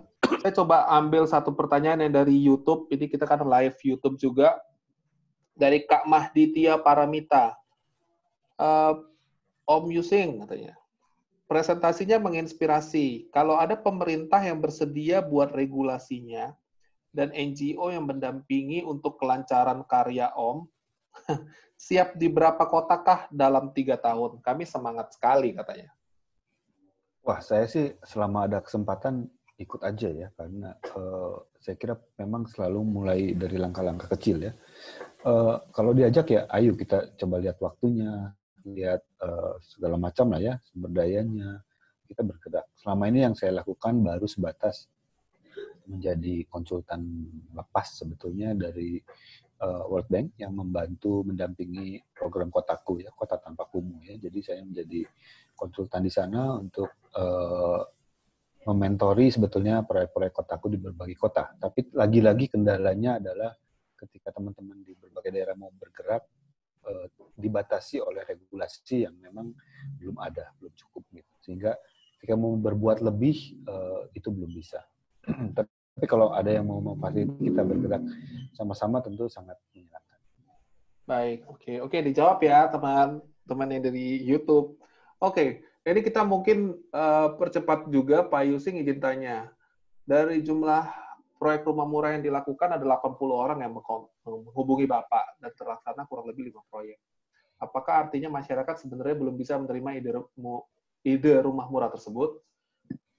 Oh, bukan. Uh, masyarakat belum punya uang cukup untuk membangun rumahnya. Baik. Uh, jadi banyak yang semua kan punya cita-cita yang belum punya rumah itu kan banyak ya. Semua cita-cita kan pengen punya rumah gitu. Jadi itu menghubungi kami gitu. Tapi uh, masalahnya kemampuan ekonomi mereka yang sangat lemah. Kenapa sangat lemah? Karena itu tadi persoalan-persoalan ketimpangan ekonomi, kapitalisme kroni dan lain sebagainya begitu ya. Sehingga saya menemukan 10 tahun yang lalu 2009 uh, eh, 11 tahun ya, banyak klien-klien saya mau bangun rumah, anggaran dananya tuh 50 juta, 100 juta, 150 juta, kira-kira begitu ya. Sekarang, 11 tahun lagi, 2020, setelah harga semen naik, harga material naik, harga tukang sudah naik jauh, jauh masih segitu juga nominalnya. 50 juta, 100 juta, 150 juta, begitu. Jadi memang kondisi ekonomi buat masyarakat di bawah itu sangat sulit. Begitu. Baik. Baik. Oke, oke, sangat menjawab itu Pak. Kita lanjutkan ini banyak sekali teman-teman uh, yang bertanya. Mungkin mungkin kita tutup tutup kolom komennya ini teman-teman. Tapi saya akan coba bacakan satu persatu. Terima kasih atas materinya yang sangat menginspirasi Pak. Saya ingin bertanya Pak, bagaimana cara Bapak mengedukasi masyarakat dan klien tentang pemikiran seperti ini? Karena yang saya alami, masyarakat dan klien pada saya ini jarang sekali sadar terhadap ruang terbuka, juga area resapan untuk hujan yang sebetulnya juga yang sebenarnya juga berdampak untuk mereka sendiri gitu. Oke, okay. uh, eh, mungkin bukan mengedukasi ya, tetapi mengajak diskusi ya, karena berbagi pikirannya. Uh, setiap proyek saya kira kesempatan kalau ada kemungkinan itu untuk berdiskusi bersama klien, bersama masyarakat begitu, untuk mencari jalan keluar, uh, menemukan masalahnya apa, persoalannya yang kita hadapi itu apa, supaya mereka juga punya wawasan itu kalau belum ada ya kadang-kadang juga saya yang ditambahkan wawasannya oleh klien yang lebih tahu misalnya ini proses dua arah gitu. jadi ketika kita diskusi bisa saja kita tanpa lelah menawarkan terus-menerus sistem bangunan yang baik misalnya ada 10 sistem nggak apa-apa kalau cuma satu klien menerima satu dua uh, sistem uh, atau ide bangunan yang diterima, ya dia akan kita lakukan saja di dua itu. Mungkin klien yang lain akan menerima tiga aspek yang lain ya. Tiga aspek itu bisa terbangun. Terus sampai nanti perlahan-lahan kita punya contoh portofolio beberapa bangunan yang misalnya saya mulai mengkampanyekan rumah panggung gitu karena resapan yang berkurang, ruang hijau yang kurang, maka bangunan sebaiknya panggung. Mulailah ada beberapa klien yang mau. Yang mau itu menjadi contoh untuk klien-klien berikutnya. Uh, akhirnya semakin lama semakin banyak begitu. Jadi intinya terus-menerus uh, menawarkan ini ya pada masyarakat dan dan klien. Baik. Oke. Okay. Uh, selanjutnya uh, ini ada pertanyaan. Kita coba tampung saya teman-teman. Jadi saya uh, saya saya tutup kolom komennya karena ini udah setengah sembilan dan teman-teman di wilayah timur juga sudah sangat larut. Jadi saya akan usahakan bertanya sampai ke Kak Anggoro ya. Untuk pertanyaan selanjutnya sudah kita tutup kolom komentarnya. Terima kasih atas pengertiannya teman-teman. Oke, Kak dari Kak Severus Andrew Aristoteles, saya mau bertanya tentang pendekatan Bapak yang mendesain menggunakan simbolisme. Apakah pesan-pesan simbolisme seperti hmm. di dalam Wika Satrian itu dapat tersampaikan kepada orang awam, Pak? Uh, disampaikan saja. Oh, oke. Okay. Intinya okay. kan uh, uh, sesuatu benda itu punya nilai dan makna yang lebih baik, yang lebih yeah. berharga kalau ada story-nya, ada ada nilainya. Yes. Kalau tidak ada nilainya, satu keping uang ya satu keping uang. Tapi kalau ternyata keping uang itu dulunya milik uh, siapa presiden pertama kita Soekarno misalnya yeah, dia iya. simpan yeah. di mana begitu dia bawa-bawa itu kan menjadi berharga. Nah cerita itu kan harus disampaikan orang nggak bisa melihat keping uang itu lalu tahu oh ini punya Soekarno ya nggak bisa yeah, kan harus yeah. diceritakan ya. Jadi uh, kebetulan pemilik bangunan ini yang Wika Satrian itu memang sering menyampaikan itu kepada para pengunjung dan uh, mereka yang dilatih di sana. Wow, wow. Oke, okay, lanjut lagi ini Kak Naomi Yolanda Dinat Tauli. Wah, ini bagus sekali nih namanya kalau saya orang Batak tahu. Oke, okay, saya sempat scroll dikit di Instagram Bapak bahwa ada proyek dari Akanoma juga, micro micro housing. Apakah itu merupakan salah satu bagian dari solusi yang bisa kita coba untuk permasalahan-permasalahan yang tadi Bapak sebutkan? Betul. Uh, memang itu tumbuh dari tadi kenyataan 11 tahun lalu dari 2009 2020 kemampuan masyarakat masih nominalnya sama segitu aja 50 100 yeah. juta yeah. 150 juta begitu ya artinya semakin yeah. sulit kan uh, dan kita bayangkan sekarang sekarang orang nyari tanah itu susah sekali apalagi nanti anak kita ya kan yeah. jadi kemudian saya berpikir kayaknya sebetulnya di coupling-coupling existing yang ada ini yang sekarang di perumahan satu coupling satu rumah itu sebetulnya bisa dibuat lebih efisien. Satu kafling jadi tiga rumah cukup kalau rumah mikro, rumah tapak. Apalagi kalau kita bertingkat. Kalau bertingkat tiga lantai, eh, dua lantai, itu bisa tujuh rumah dalam satu kafling ukuran 6 kali 12 begitu. Uh, ya. Artinya uh, anak-anak kita nanti berkeluarga nggak perlu cari tanah lagi. Kita bisa membangun di tempat yang sama. Artinya banyak sekali masyarakat di tengah kota yang punya rumah di kota-kota besar bisa mengubah kepemilik uh, fungsi tanahnya yang tadinya satu rumah menjadi banyak biaya, kan bayar PBB, bayar listrik dan lain sebagainya. Sekarang bisa dibangun tingkat lima lantai menjadi 15, mungkin 14 rumah begitu, lalu sebagian dijual disewakan, dia tetap tinggal di sana. Yang tadinya kos menjadi profit begitu, mendapat penghasilan dari sana. Itu juga bisa begitu. Saya ada contoh uh, tanah di Tokyo, bangunan uh, tanahnya di tengah kota Tokyo ukurannya tujuh setengah meter kali lima, cuman segitu ukuran tanahnya. Si pemiliknya membangun 10 lantai, dua lantai untuk pertokoan di bawah, delapan lantai di atasnya jadi delapan rumah. Padahal tanahnya hanya tujuh setengah kali lima gitu. Jadi ya. ini harapan kita ke depan kota-kota kita bisa banyak sekali eh, apartemen-apartemen mikro ya. Ya.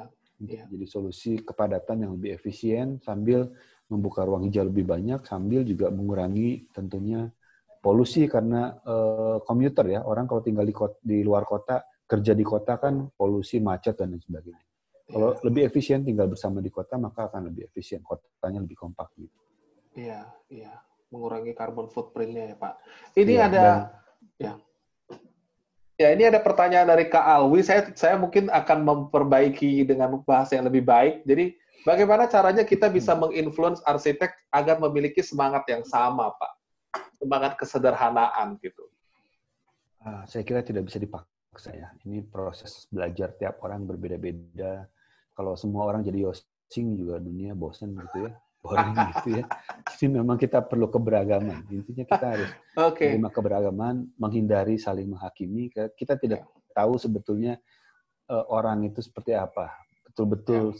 seperti apa. Kita tidak bisa menilai orang. Kita cuma bisa mengkritik karyanya, perbuatannya, tapi orangnya sendiri kita tidak tahu latar belakang ya. pemikiran dan pengalaman hidupnya seperti apa sehingga dia memilih memutuskan seperti apa. Jadi saya kira uh, ini pilihan masing-masing orang. Dan saya Eh, dorongan saya adalah setiap orang harus menemukan jawaban atas buat buat apa saya hidup sebetulnya. Buat apa wow. Ayu hidup? Buat apa wow. Daniel hidup? Buat apa Gun Faisal hidup? Pasti masing-masing berbeda-beda tujuan hidupnya dan itu harus ditemukan sehingga jadilah seperti itu Seperti apa seharusnya. Wow, nah saya pengen highlight ini teman-teman sebelum kita lanjutkan ke pertanyaannya. Jadi yang baru disampaikan oleh Pak Yusing ini sangat penting teman-teman saya pernah baca bahwa hikmat akan memberikan kita kerendah hatian. Yang barusan kita dengar ini adalah hikmat, maka dari itu Pak Yusing bisa bilang ya, ya biarin aja. Karena kalau misalnya semua jadi Yusing juga uh, dunia ini akan sangat membosankan.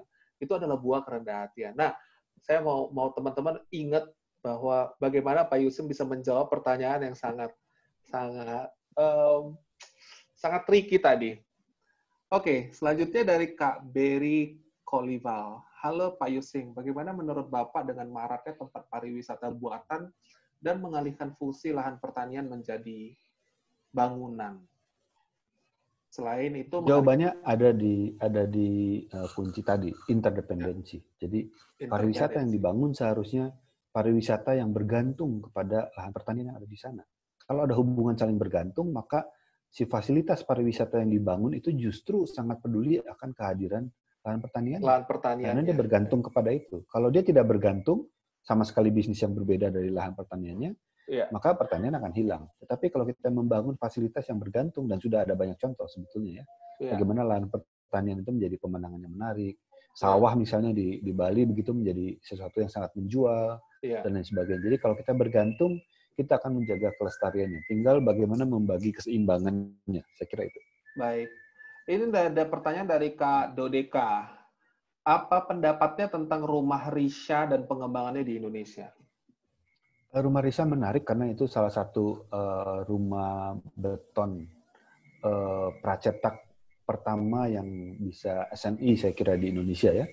Uh, sehingga bisa dibangun di mana saja begitu dan sifatnya uh, bisa dibongkar pasang begitu. Jadi uh, sesuatu yang sifatnya bisa dibongkar pasang, bisa dicicil, bisa bertumbuh, bisa berkembang. Saya kira itu menarik. Dan terbukti memang sudah berkembang sekarang uh, dari inspirasi Risa ini sudah ada Ruspin uh, yang dikembangkan oleh orang lain, tetapi masih kenal dengan Pak Arif Sabarudin ya. Kemudian sudah dari Mai di mana? Mas Yuris itu di mana saya kotanya lupa. Tapi dia mengembangkan kurang lebih atas inspirasi Risa ini. Jadi saya kira uh, ini contoh yang baik. Oke, sebelum pertanyaan terakhir, ini pertanyaan kedua terakhir. Pak Yusing, bagaimana pendapat Bapak tentang pemerintah membangun model rumah susun untuk MBR? Dengan adaptasi masyarakat dalam ruang susun yang pada akhirnya banyak rusun yang menjadi kawasan kumuh baru. Betul. Kenapa akhirnya menjadi kumuh? Karena kekumuhan itu bukan jawabannya fisik, bangunan, bukan. Uh, kita kasih uh, bangunan mewah, istana deh, istana presiden deh di Bogor kasih ke orang kampung kota yang miskin dengan tidak mengubah kemiskinannya, dia akan jadi kumuh. Yeah. Dia akan jadi tempat penimbunan barang bekas. Yeah. Kebunnya tidak akan dirawat, padahal itu istana ya. Karena kuncinya dalam menyelesaikan kekumuhan itu bukan membangun bangunan fisik yang indah, dikasih kulkas, dikasih lemari, dikasih spring bed, bukan itu menyelesaikan kekumuhan itu adalah memperbaiki kondisi ekonomi masyarakatnya menjadi lebih sejahtera. Maka dengan sendirinya kekumuhan itu akan selesai. Sangat menjawab ini. Teman-teman mudah-mudahan bisa menjadi ini ya, kata kuncinya itu yang tadi barusan disampaikan. Coba sebentar kita diem menikmati jangkrik di rumah Pak Yusing. Ini kedengeran rumah saya. Kedengaran, kedengaran, kedengaran. Saya juga oke, okay, saya menikmatinya. Nah, ini pertanyaan terakhir nih teman-teman. Dari Kak Anggoro Cipto Ismoyo. Salam Pak Yusing, ini mungkin agak menggelitik tentang peran arsitek yang relatif anti mainstream dengan tujuan pendidiki, pendidikan yang harus link and match. Tujuannya adalah untuk bekerja di konsultan, mendirikan biro arsitek, dan sebagainya yang tujuannya tentu praktisnya kesejahteraan. Lalu bagaimana agar kita memiliki keseimbangan peran untuk berjiwa arsitektur sosial, yang mungkin kalau desain murah bahkan gratis, mungkin kebanyakan akan berpikir bagaimana bisa sejahtera. Oh, jadi ya prinsipnya mohon pencerahan dan motivasi, tips mengelola, menghidupi biro arsitek dengan tetap berjiwa sosial seperti yang Pak Yusing miliki saat ini. Oke, jadi dasarnya adalah eh, tadi kita mengenal siapa saya begitu.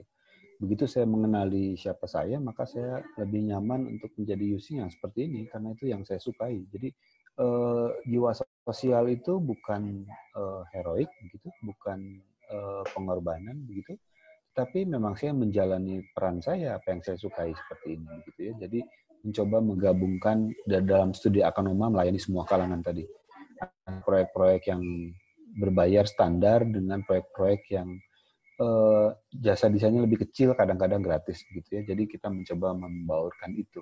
Tapi kenapa itu bisa terjadi? Karena saya menemukan peran saya begitu di sana. Jadi saya kira eh, ini pun tiap-tiap orang akan berbeda-beda begitu ya. Tetapi kuncinya adalah kritik saya kepada LSM sebetulnya banyak sekali LSM yang bergantung kepada donasi, donatur begitu ya, hmm. uh, pembiayaannya, terutama dari luar negeri ya, atau dari uh, siapa pun begitu. Sehingga ketika di stop donasinya, aktivitas LSM yang begitu stop. bagus pun bisa stop. Begitu. Iya.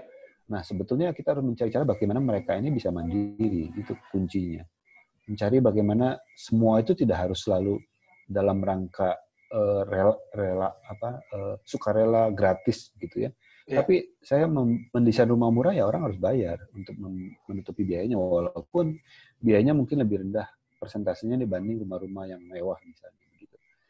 Uh, usaha-usaha yang kita lakukan harus mencari cara bagaimana menjadi bisnis sosial, bukan hanya beraktivitas sosial, tetapi bisnis sosial yang dikembangkan bersama-sama. Lebih baik lagi kalau membangun usaha bersama bersama masyarakat paparan hari ini saya kira bisa memberikan inspirasi buat teman-teman mahasiswa atau arsitek untuk bisa mulai bekerja sama mengembangkan kampung-kampung kota atau tempat-tempat wisata yang begitu banyak di Indonesia bersama masyarakat bekerja sama berbagi usaha eh, membuat fasilitas yang menarik yang bagus begitu eh, sehingga nanti bisa berbagi keuntungan di sana.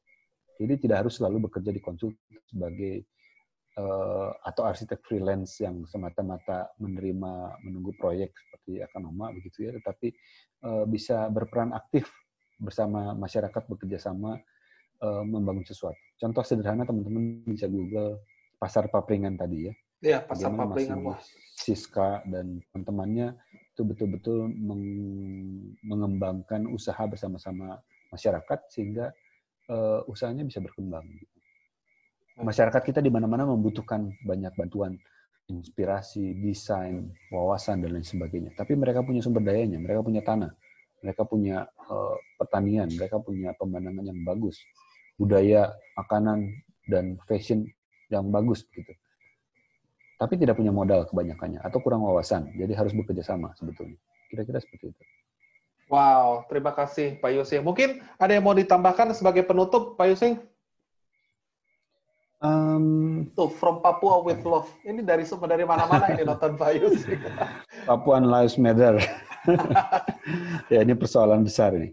Uh, ya, uh, saya kira uh, setiap kita bisa menjadi apa saja ya sesuai yang kita mau sebetulnya. Jadi kuncinya kita mengenali siapa saya dan seperti apa seharusnya saya menjadi itu yang kunci yang paling penting sehingga peran kita masing-masing akan menjadi uh, sangat dibutuhkan dan bisa saling berdampak. Kolaborasi menjadi penting dalam mengerjakan itu semua. Dan eh, pesan saya, ayo kita cari cara bagaimana kita mengembangkan usaha bersama, baik antar kelompok maupun antar masyarakat, supaya kita bisa eh, mengurangi dampak kronis dari kapitalisme kronis. Terima kasih. Baik, terima kasih sekali Pak Yusing atas waktu yang sudah diberikan pada malam hari ini. Terima kasih atas paparannya, terima kasih atas inspirasinya, terima kasih atas ilmunya, terima kasih atas ide-idenya kepada kita di belajar dari mereka pada malam hari ini. Kami berharap juga teman-teman yang ada di sini yang masih ada 214 orang dan 28 orang via YouTube, semoga teman-teman juga bisa seperti Pak Yusing eh, berdampak bagi orang-orang di sekitar, lakukan hal-hal kecil supaya orang-orang lain juga bisa terbantu dan merasakan manfaat dari wawasan yang kita miliki. Semoga inspirasi ini tidak berhenti di pada pada malam hari ini, tapi inspirasi ini juga bisa menjadi buah-buah yang baik dan dapat dinikmati oleh orang-orang yang mungkin tidak dapat hadir pada malam hari ini. Sekali lagi, terima kasih Pak Yusing atas waktunya. Dan teman-teman, terima kasih juga. Ini banyak sekali teman-teman, saya izinkan. Ayo kasih salam sama Pak Yusing. teman-teman banyak sekali yang berterima kasih untuk Pak Yusing. Dan mungkin sebelum ditutup, Pak Yusing ini ada banyak yang bertanya, apakah diizinkan materi tadi di-share kepada teman-teman di belajar dari mereka, Pak? Uh, saya kira nggak apa-apa ya, PDF-nya maksudnya. Iya, PDF-nya. Boleh, nggak apa-apa. Oke, okay. baik teman-teman sudah terjawab ya. Jadi uh, saya yakin teman-teman udah pasti yes pada malam hari ini. Terima kasih Pak Yusing sudah sedemikian uh, baik. Semoga Bapak juga sukses selalu di studi Konoma. Terima kasih. semoga pekerjaannya dilancarkan, uh, rezekinya diperbesar. Oke. Okay. Amin. Terima kasih Pak Yusi. Ya, terima kasih semuanya. Terima kasih teman-teman di wilayah timur, tengah, dan barat. Semoga bermanfaat. Sampai jumpa di belajar dari mereka selanjutnya.